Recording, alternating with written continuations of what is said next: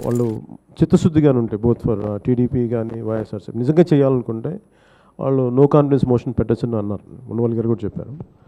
So అది మరి వాళ్ళు ఎందుకు చేయలేకపోతున్న పరిస్థితులు నాకు తెలియదు కానీ వాళ్ళు మేబీ వాళ్ళు ఏ ఏ ఏ ఉద్దేశం పెట్టుకుని టైం బౌండ్ పెట్టారో తెలియదు ఎంపీలు రాజీనామాలు చేస్తే ఏమి జరగదు. కేంద్ర ప్రభుత్వం మీద అవిశ్వాస తీర్మానం పెట్టాలంట.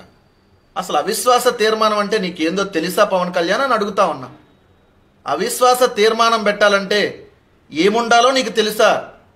నువ్వు ఒక రాజకీయ పార్టీని నడుపుతున్నావు ఒక రాజకీయ నాయకుడిగా ఉండాలనుకుంటా ఉన్నావు.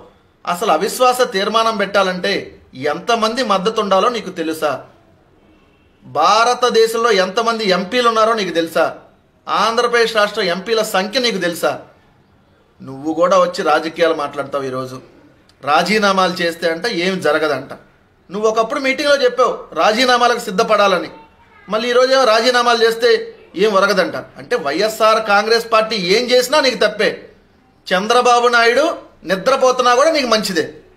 ఎందుకంటే అతను డబ్బులు ఇస్తాడు నిన్ను నిద్ర లేపుతా ఉంటాడు కాబట్టి డబ్బులు ఇచ్చి నీ దగ్గరకు వచ్చి నీ దగ్గర ఒక బ్యాగ్ సూట్ కేసు డబ్బులు పెట్టి లే అని లేపగానే నువ్వు నిద్ర లెగుస్తావు. కొత్త కొత్త కమిటీలు అంటావు ఎక్కడికెక్కడో వెళ్తావు ఏదేదో మాట్లాడతావు.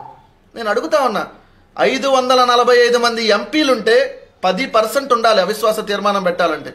అంటే యాభై నాలుగు మంది ఎంపీలు ఉండాలి. మన ఆంధ్రప్రదేశ్ రాష్ట్రంలో ఉన్న ఎంపీల సంఖ్య ఎంత ఇరవై ఐదు మంది. దాంట్లో తెలుగుదేశం వాళ్ళను బీజేపీ వాళ్ళకి మగతనం ఉందా అవిశ్వాసం పెట్టడానికి? లేరు వైఎస్ఆర్ కాంగ్రెస్ పార్టీ తరపున ఉన్న ఎంపీలు ఇప్పుడు ఐదుగురు. ఐదుగురు అవిశ్వాస తీర్మానం ఎట్లా పెడతారయ్యా? ఆ మాత్రం కూడా రాజకీయ నాలెడ్జ్ లేకుండా నువ్వేదో కొత్త కొత్త కమిటీలు అంటే దానికి తానా తందానా అనే ఎల్లో మీడియా ఒకటి నువ్వు నిద్ర లెగిసావా బ్రష్ చేసావా అక్కడి నుంచి ప్రెస్ మీట్లు స్టార్ట్ అయ్యేదాకా లైవ్లు. ఏం సబ్ సభ్య సమాజానికి మీరు ఏం మెసేజ్ ఇస్తున్నారని అడుగుతా ఉన్నా. ఈ ఎల్లో జర్నలిజానికి ఈరోజు ఎల్లో జర్నలిజం వల్ల ఈరోజు తెలుగు రాష్ట్రాలు నాశనం అయిపోతా ఉన్నాయి.